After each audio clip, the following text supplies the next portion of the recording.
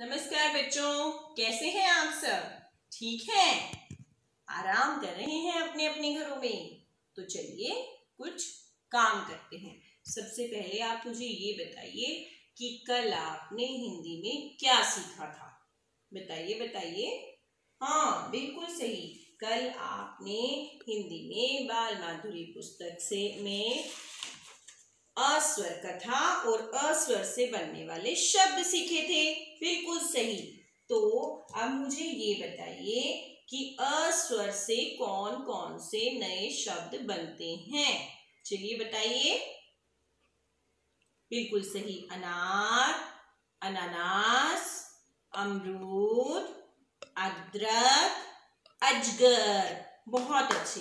इसका मतलब आप सबने अपना गृह कार्य बहुत अच्छे से किया है। चलिए, अब हम आज का काम शुरू करते हैं। मुझे ये बताइए, गर्मियों में एक फल आता है। मम्मी उसका हमारे लिए शेक भी बनाती है, मीठा मीठा भी होता है और उसका रंग पीला होता है। तो बताइए बताइए।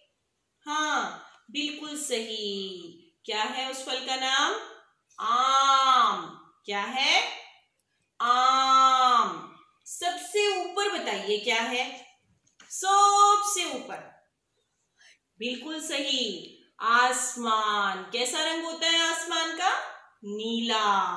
कैसा रंग होता है आसमान का? नीला। मम्मी, मटर की सब्ज़ी में पनीर के साथ साथ और क्या डाल सकती है? बताओ बताओ। हम्म आलू। क्या डालती हैं? आलू। बहुत अच्छे।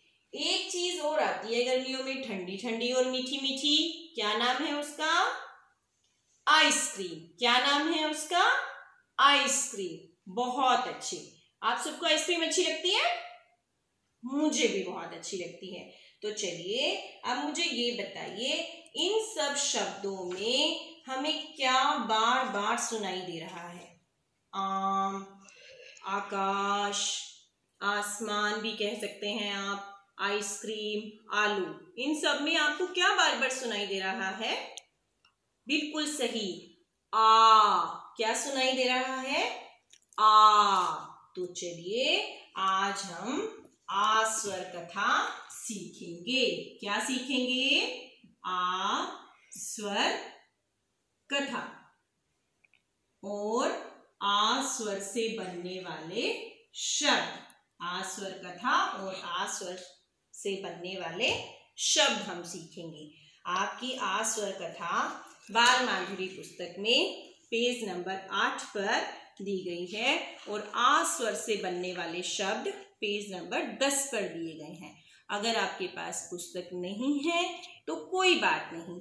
आप बार बार इस वीडियो को देखेंगे तो आपको आज से बनने वाले शब्द भी याद हो जाएँगे। ठीक है?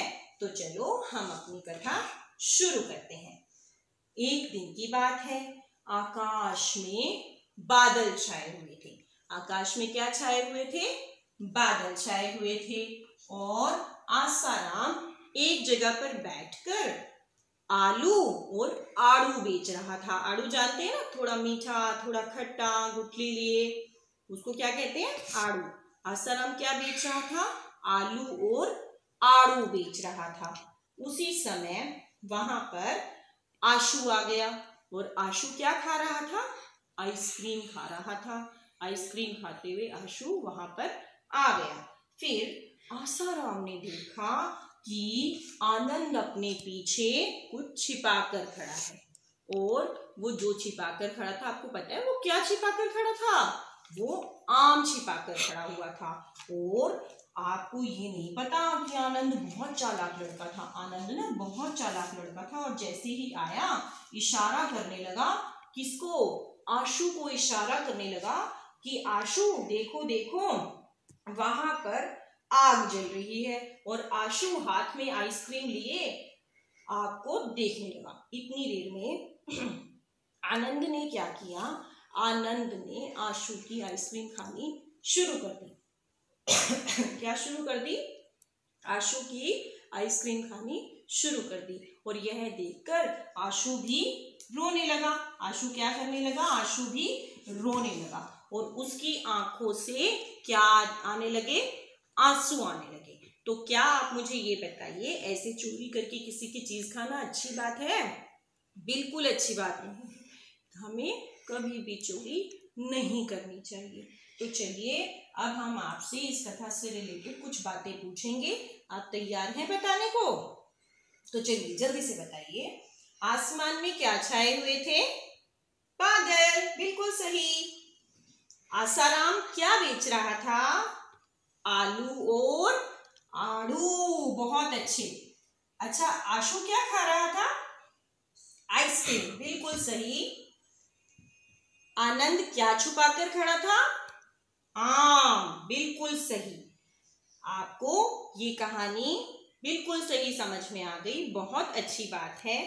अब आपने कल आज से बनने वाले सभी शब्दों को याद करना है। तो चलिए हम आज से बनने वाले सब शब्दों को एक बार देख लें। आलू, आग, आसमान, आम, आइसक्रीम। ठीक है? क्या आप सबको ये सब शब्द समझ में आ गए? तो चलिए, अब आप इन सब शब्दों को याद कीजिए, हम आपसे कल मिलेंगे। नमस्कार।